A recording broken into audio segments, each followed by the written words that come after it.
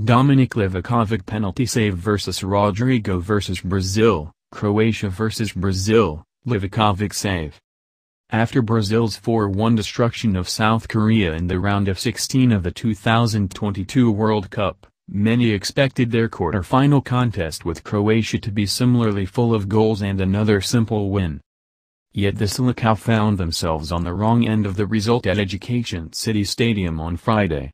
Croatia showed the trademark resilience that made them World Cup finalists back in 2018 and took the match to extra time and then penalities.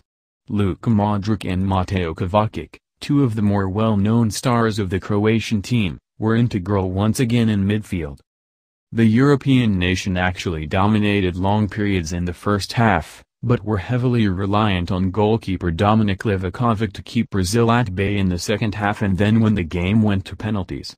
Brazil had eight shots but none of them found their way past the Croatian number one, described as the man of the game by UK pundit Micah Richards afterwards.